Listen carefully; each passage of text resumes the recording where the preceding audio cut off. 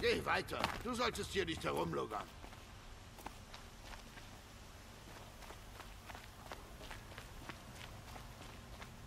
Das hier ist eine zivilisierte Stadt.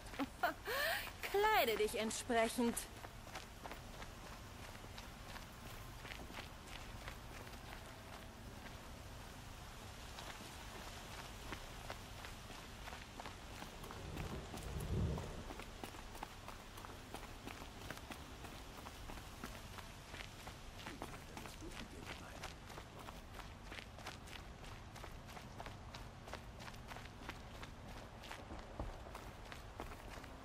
Du bist Nora.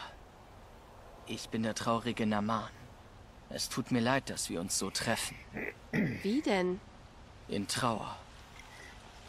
Du trägst sie mit dir, wie einen Talisman. Warte, vergib mir. Du willst keine Wiedergutmachung? Für ein Opfer im Sonnenring? Äh, nein. Ich weiß von den Raubzügen, doch die Kaja schulden mir nichts. Ich verstehe. Tja, ich könnte die Hilfe einer willensstarken Fremden brauchen.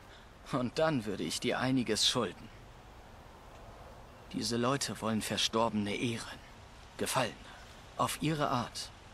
Nicht mit Hilfe von Kaja-Riten und Kaja-Steinen. Doch es gibt Hindernisse. Und während Meridian gespannt den Atem anhält, fesseln mich meine Gewänder.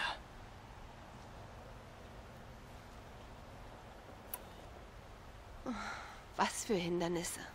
Der erste Pilger ist ein Osseram, der den Königsschrein an der Straße zur Stadt besuchen will. Er wartet jetzt dort, weil ein alter Sonnenpriester keine Heiden dort hineinlässt. Diese Utaru verlor ihre Gefährtin beim Juwel, an einem Teich voller Schnappmäuler. Ein Schrein sollte dort die Maschinen vertreiben. Leider ist er nicht besonders effektiv. Und der Banuk will den Sonnensteig bemalen. Ein Ruf zu den Maschinengeistern, glaube ich. Man muss sie nicht rufen. Der Glanz des Turms zieht Grauhabichte an. Also zwei Schreine von Maschinen befreien und einen von einem Priester? Ich möchte nur etwas Barmherzigkeit und dass sie Gehör finden. Na man, Rituale und Gebete bringen niemanden zurück. Nein, aber sie helfen Trauernden, sich zu finden. Sie können Kraft geben, Hoffnung, wie die Sonne.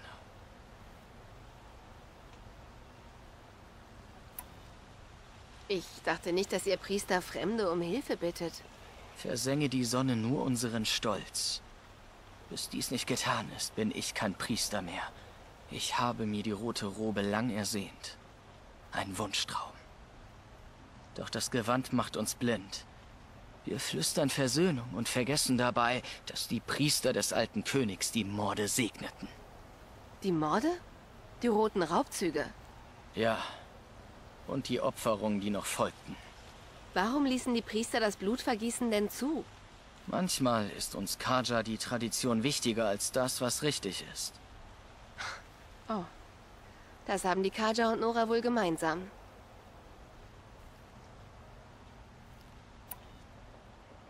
Du bist enttäuscht von den Sonnenpriestern, wolltest aber einer werden?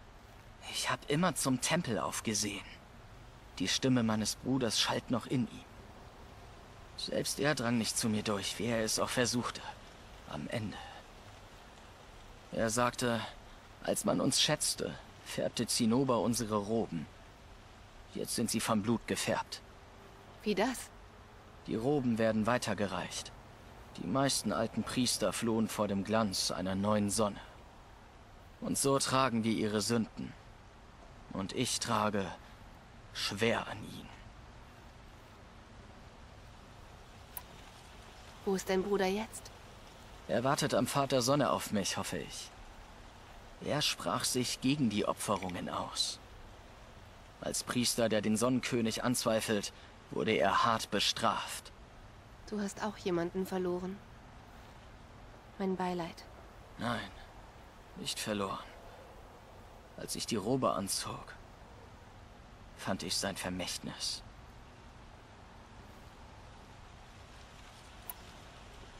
Ich möchte den Trauernden gerne helfen. Ihre Erinnerung zu Ehre ehrt uns alle.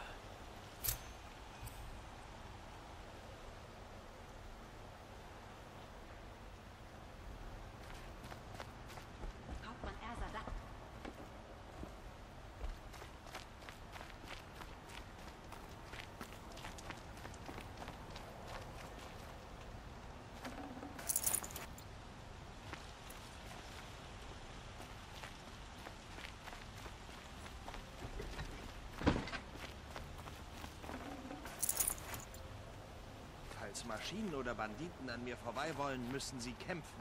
Merkt euch meine Worte. Es gibt hier viel Arbeit, aber keine, die mir gefällt.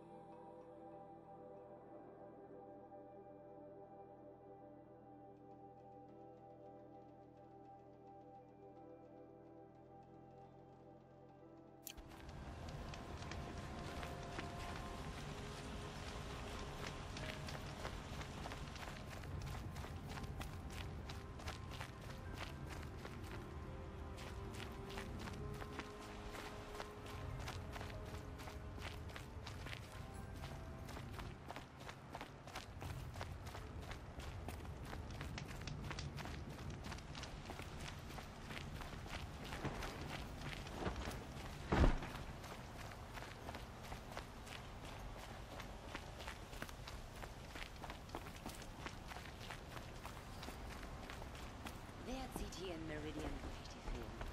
Die Osseram natürlich. Sie flüstern dem Sonnenkönig irgendwas. Ist es zu glauben, dass die Osseram auf einem Haufen von Schrott der Alten leben? Wirklich. Irgendwo oben im Norden. Sie haben die Kommandantin der Garde ermordet. Warum greifen wir nicht zu den Waffen und stürmen Sonnenfall? Heute ist wirklich ein langer Tag.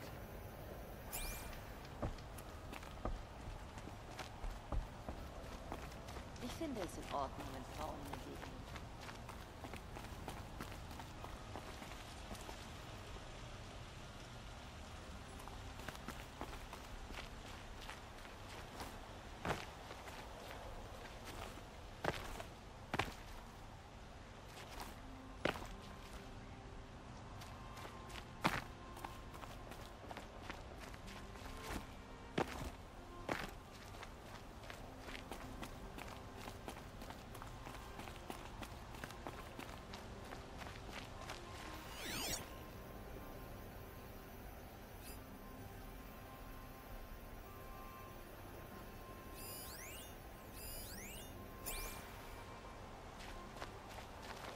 Irit, ich wollte dich nicht erschrecken.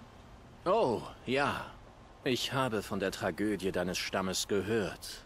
Die Sonne hing tief, als wir zurückreisten.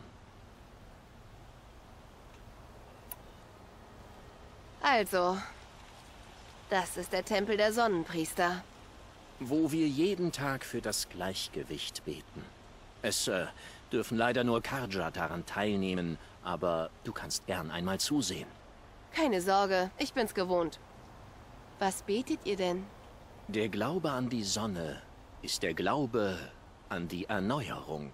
Durch ihren Auf- und Untergang erkennen wir, was bleibt und was gehen muss.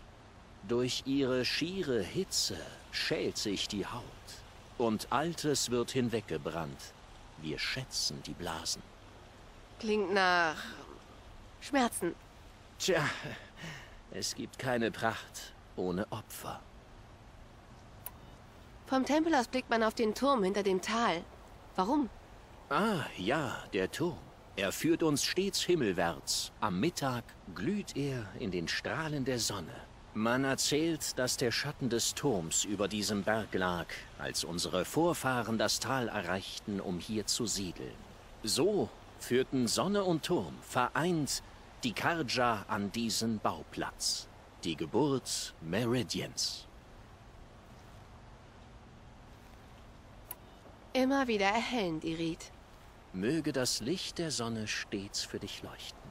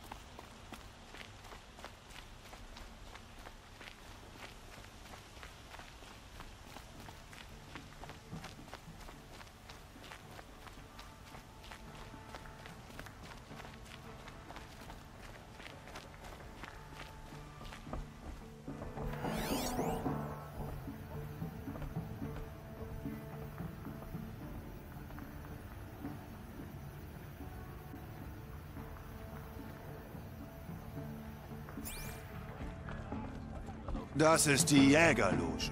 Nur Mitglieder und geladene Gäste dürfen hinein. Wie wird man eingeladen? Du kommst ganz aus dem wilden Osten, nicht? Dann hast du sicher unsere Jagdgebiete gesehen. In jedem finden Jagdprüfungen statt. Wenn du eine bestehst, kriegst du ein Abzeichen, die Halbsonne.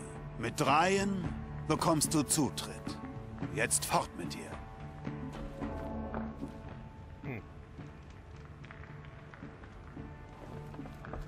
Das ist die Jägerloge. Nur Mitglieder und geladene Gäste dürfen hinein. Wie wird man eingeladen? Du kommst ganz aus dem wilden Osten, nicht? Dann hast du sicher unsere Jagdgebiete gesehen. In jedem. Jetzt fort mit dir.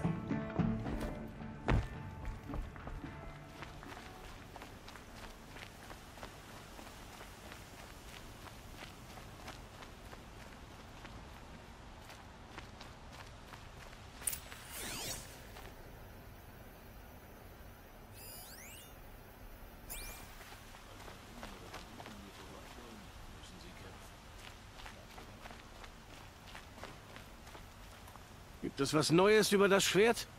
Noch nicht. Ich werde sehen, was ich für dich tun kann. Du hast den Einbrecher fliehen sehen? Ich stand mit dem Rücken zur Mauer. Ich dachte nicht, dass wer zum Fenster rausklettert. Er war grau gekleidet und hatte das Schwert.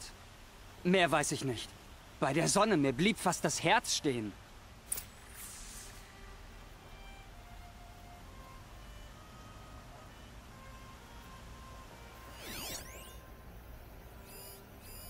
Der Dieb hat bei seiner Flucht das Fenstergitter zerbrochen. Das Blut. Jemand scheint sich an den Splittern verletzt zu haben. Blutstropfen, die von hier wegführen.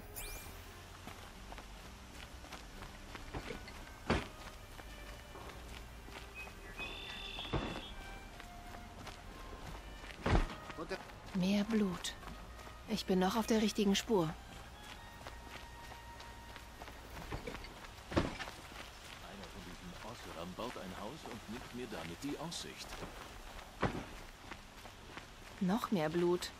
Der Dieb hat sich schlimm geschnitten. Die Spur endet hier. Aber irgendjemand muss den Dieb gesehen haben. Ich bin noch müder als sonst. Ich hätte mehr frühstücken sollen. Eines Tages. Ist hier jemand langgerannt? Mit einem Schwert? Aber ja, er hat sich ein paar Stoffstücke geschnappt und rannte die Treppe darunter. Er hat geblutet, vielleicht braucht er einen Verband. Verdammt! Diese Stoffe sind teuer! Ich habe also einem Dieb Verbandszeug bezahlt. Wenn wir den Kaja nichts beibringen können, wir werden ihnen bei meiner Stahlseele zeigen, wie man säuft. Die Welt kann erst mal warten. Ich bin noch nicht mit Sitzen fertig.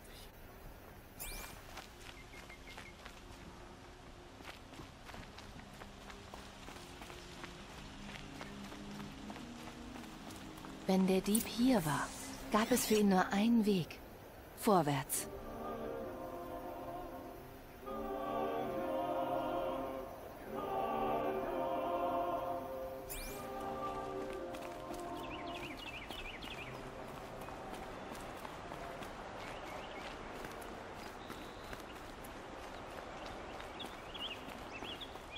Keine Spur von dem Dieb. Jemand muss ihn gesehen haben, als er hier langgerannt ist. Dir jemand vorbeigelaufen? Mit einem Schwert in der Hand. Ja, er hatte mich fast umgerannt. Er rannte über den Wall und fuhr mit dem Lift runter. Den holst du nicht mehr ein. Aber er hatte kein Schwert. Er hatte gar nichts in der Hand? Absolut nichts. Aber er rannte wie ein geölter Blitz. Der Dieb muss das Schwert weggeworfen haben. Aber wo? Hm, vielleicht hat ihm jemand geholfen. Am Stand der Händlerin hätte er das Schwert schnell loswerden können.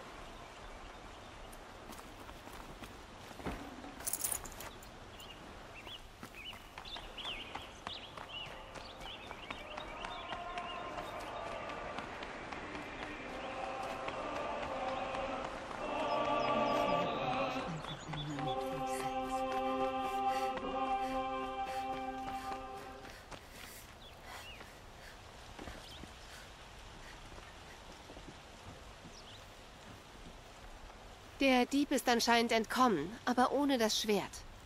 Er hat es vielleicht irgendwo abgelegt. Bei dir zum Beispiel. Was? Nein. Ich habe damit nichts zu tun. Das wird sich zeigen, wenn die Stadtwache deinen Stand durchsucht und deine Kunden befragt. Oh, bitte nicht. Hör mich erst an. Es heißt, du bist ein helles Licht in der Dunkelheit, also wirst du mir zuhören. Es stimmt. Ich hatte das Schwert und ich gab es an jemanden weiter. Es wird verkauft, aber nicht für den Profit. Die Scherben sind für Bedürftige. Und das soll ich dir glauben? Ich kann's beweisen. Meine Freunde sind bei der Wassermühle im unteren Dorf. Sie erklären dir alles. Wenn sie dich nicht überzeugen, komm zurück mit den Wachen. Ich gehe nirgendwo hin. Das könntest du ruhig. Ich finde dich. Aber na gut. Ich gehe zur Wassermühle. Okay, dann sollte ich wohl zu dieser Wassermühle gehen und herausfinden, was hier läuft.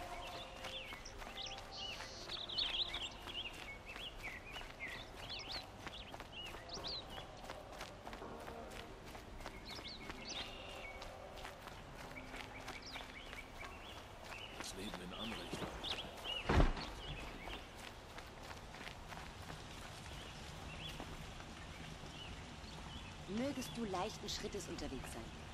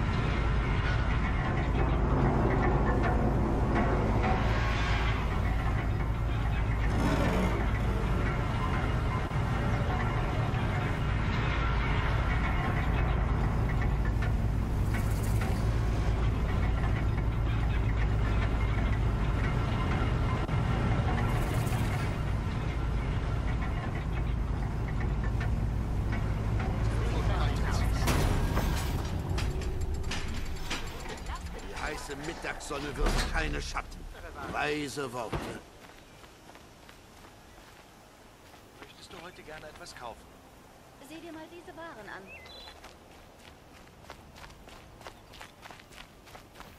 Möchtest du heute... Sieh dich doch mal um. Das sind keine Waren, sondern lebensnotwendige Du wirst es bereuen. Dinge. Du solltest Mitten deine Vorräte Vorräte aufstocken, bevor du weiterziehst. Sieh dir diese Waren an. Sie selbst. Warum sitzen wir hier bloß rum und tun nichts gegen die Schattenkarten? Möchtest du heute gerne etwas kaufen? Lass mich diese Waren nicht frei, die sein Vater Metallankauf. Gute Preise. Faire Preise. mal diese Waren. Hier gibt's die besten Preise für Maschinenteile unterm Tafelberg. Keine Abgaben an den Sonnenhof. Nicht wie die Gierschlunde dort droben. Sie interessiert sich doch nicht für Steuern. Ich weiß, was Sie nicht interessiert. Wie gesagt, das beste Angebot für Schnappmaullinsen. Das kann ich beschwören. Bei der Sonne. Spuck dir nicht in die Hände. Jägerin, ich entschuldige mich für meinen Partner. Stillen Partner. Stiller Partner? Wenn die Sonne doch nur meine Gebete erhörte. Vergiss die Schnappmaullinsen, Jägerin. Die will niemand haben. Eine Langbeinlinse würde sich dagegen wirklich lohnen.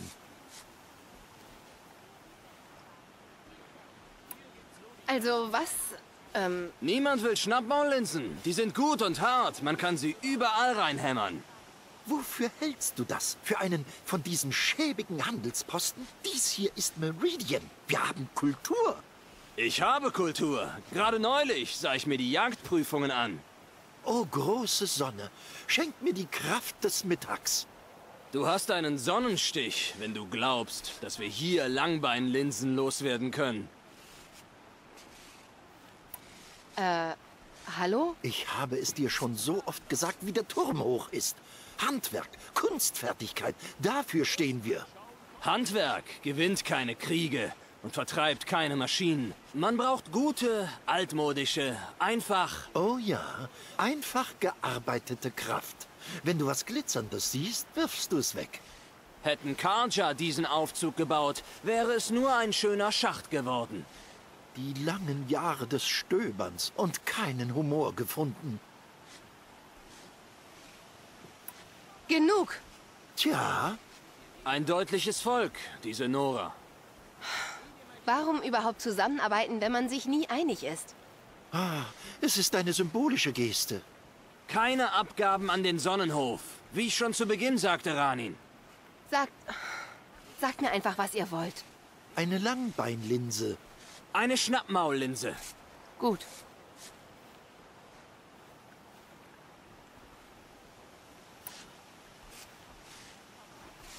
Ihr seid wohl beschäftigt. Warte, warte. Du hast sie verjagt. Schnappmaullinse, was sagst du? Ich hab sie verjagt? Hm, na klar. Hör zu, Jägerin. Langbeinlinse. Jäger, Wühler, bringt uns euer Metall. Wühler? Was für ein Volk willst du damit anlocken? Es war abgemacht. Ich werbe Kunden, du machst das Zählen. Was heißt hier abgemacht? Ich beschwer mich nicht über dein Zählen, außer dass es lange dauert. Ich fühle mich Möchtest so viel gerne schneller, wenn du etwas mit dem kaufen? Gebrüll aufhören würdest. Hochwertige Waren. Mein Angebot wird dich überzeugen. Du wirst es bereuen, wenn dir Sieh dir mal diese Waren an. die Kurz reinschauen Angebot kostet wird doch überzeugen. Ruhe auf. Lass dir diese Waren nicht entgehen. Die Osseram-Händler sollte man im Auge behalten. Sie hauen einen übers Ohr, wo sie nur können. Meine Familie könnte noch leben. Und ihr sitzt hier rum und tut nichts? Sag mir, was mit deiner Familie ist. Vielleicht kann ich helfen. Bei der Sonne, ich glaube, sie sind alle tot. Ich habe nur knapp überlebt. Maschinen. Wilde Maschinen griffen unser Anwesen an. Ich sollte Hilfe holen.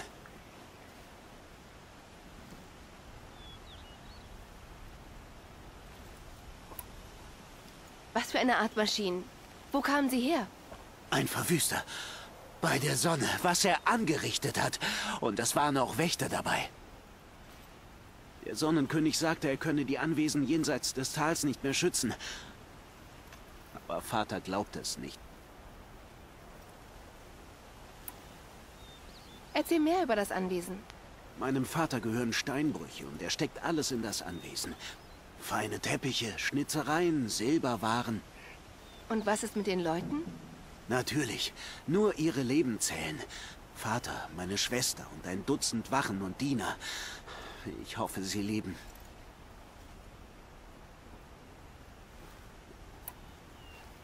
Ich gehe zum Anwesen und suche Überlebende. Wirklich? Oh, danke. Oh, bitte, pass auf. Die Maschinen sind tödlich.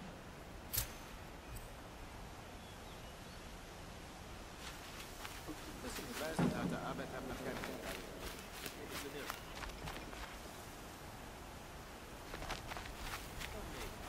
werde das machen, bis der Mond aufgeht, ganz sicher.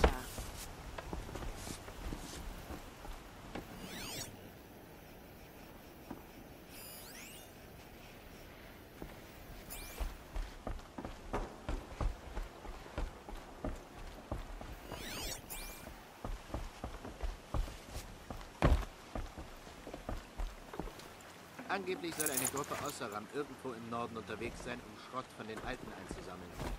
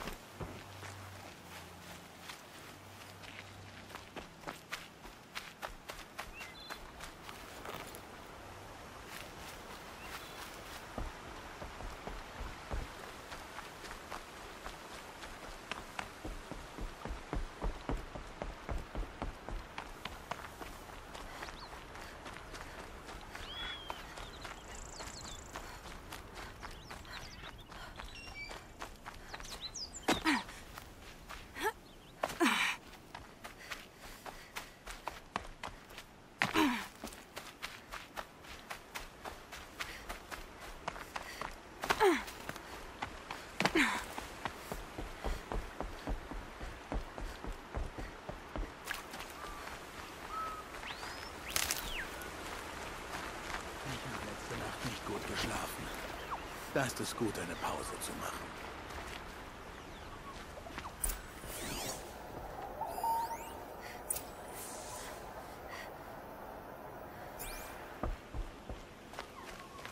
Ich hab dich schon erwartet, Aloy. Du willst sicher antworten. Tja, es ist nicht kompliziert. Wir sammeln Wertgegenstände von Leuten, die sie nicht brauchen, verkaufen sie und geben die Scherben den Armen in Sonnenfall. Du meinst, ihr stehlt? Wenn du es so nennen willst. Von Schweinen, die schon seit Generationen am Futtertrog stehen. Ravan wirkte auf mich nicht wie ein Schwein. Er stinkt wie die ganze Bande. Nach Geld und Zufriedenheit. Und die Unterschicht leidet.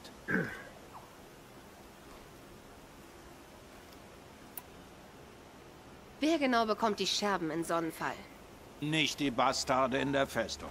Mit den Scherben verschaffen wir den Armen in Schattenhang Nahrung und Verbandszeug.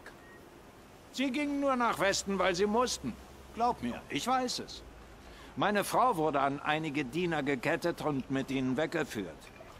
Sie verhungerten. In ihren Ketten. Das... das tut mir leid. Ja, mir auch.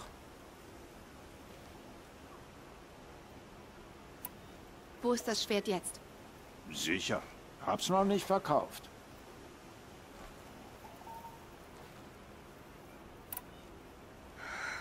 Was soll ich jetzt tun? Weggehen? Ich hatte gehofft, du hilfst uns. Es heißt, du liest Spuren wie ein Pirscher. Tja, mein Partner Nasan ist bei der Brandküste verschwunden. Er wollte nach Sonnenfall. Mit einer ganzen Ladung Lebensmittel. Wenn du die findest, würdest du vielen helfen. Ich überleg's mir. Aber nur, wenn du Ravan das Schwert zurückgibst. Ich wusste, dass du das sagen würdest. Gut, er kriegt das blöde Schwert. Nassan sollte seinen Kontakt bei einer Feuerstelle an der Gabelung bei der Brandküste treffen. Such dort nach ihm. Aber Vorsicht! Dort sind viele Maschinen und viele Schattenkarja. Und zwar nicht die Bedürftigen, sondern die Peiniger. Ein Osserer-Mädchen hat sich neulich bei der Stadtwache